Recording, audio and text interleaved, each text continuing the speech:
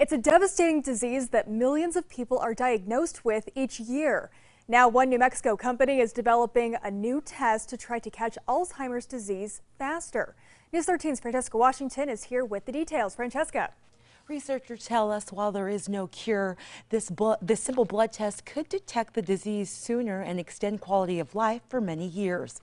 Dr. Christina Trujillo, founder of Albuquerque-based company T Neuropharma, says T cells are one of the main causes of Alzheimer's. She says they figured out which T cells attack neurons in the brain and contribute to the Alzheimer's pathology.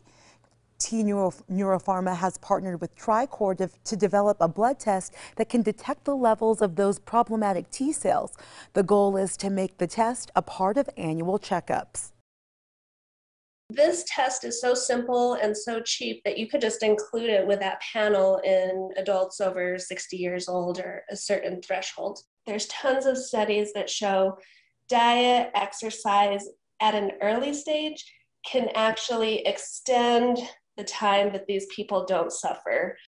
Trujillo says the blood test will take two to three years to develop. Back to you. Thanks, Francesca. Trujillo says they are also developing a drug that could block the problematic T cells, but that will under undergo about a four-year study before clinical trials can happen.